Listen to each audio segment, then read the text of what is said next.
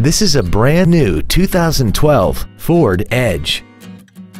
This crossover has a 6-speed automatic transmission and a 3.5-liter V6. Features include a low tire pressure indicator, traction control and stability control systems, cruise control, a chrome grille, tinted glass, an anti-lock braking system, side curtain airbags, air conditioning, full power accessories, and a rear spoiler. Please call today to reserve this vehicle for a test drive.